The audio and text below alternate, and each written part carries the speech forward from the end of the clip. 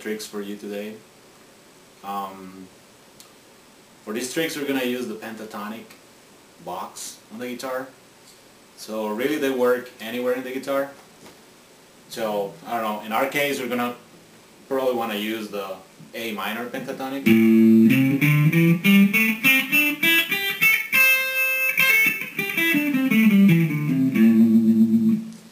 It's in the fifth. So we're gonna use this box right here. So, okay, the first trick, what it is, is really simple. Uh, we're gonna use two strokes in two different strings. In our case, we're gonna use the fourth and fifth. The stroke goes um, down, up, down, up.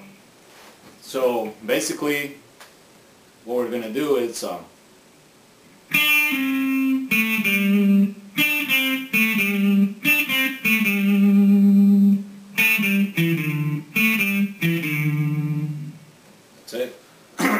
Sounds pretty simple, but uh, in my case, to make it uh, faster, what I do, I use my, my number one finger and I just hold both strings with this finger and then I let um, the third finger to do the rest of the work. So go something like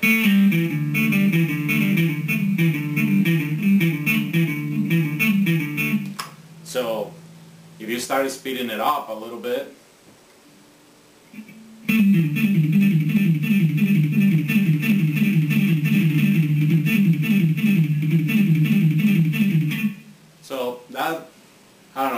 sounds cool, kind of cool when you want to like put some tension in a solo, or do you want to start a run in a pentatonic?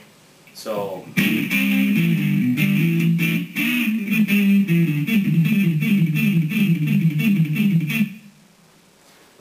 I don't know. It adds a little, you know, power to whatever you're now, doing. Now, what I like to do um, to put a little change, it's um, yeah, repeat the first two notes. So it'll be something like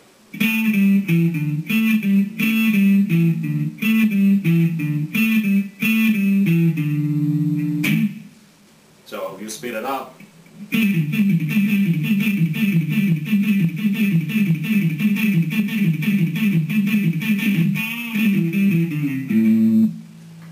So um well right now I'm using the guitar clean so you can hear better. But when you put distortion in it,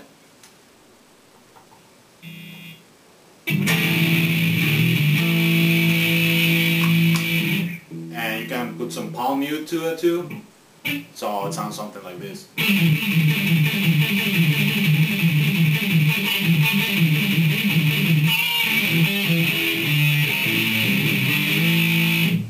Alright, going over the same pattern, uh, we moved a little forward in the scale. Like to use, you know, the first and second um, a little forward, you know, from the pentatonic. So I like to throw a little palm mute and um, switch the, the notes with the following the scale.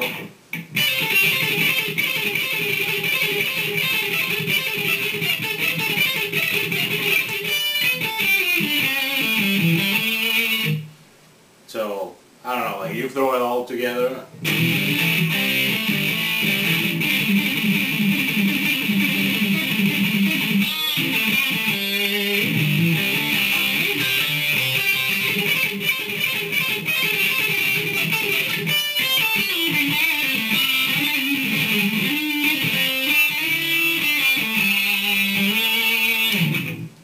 I don't know, I'm just uh, throwing different stuff there, but basically that's a trick. Um, so I hope you guys like it and enjoy it. Have fun playing guitar. Bye.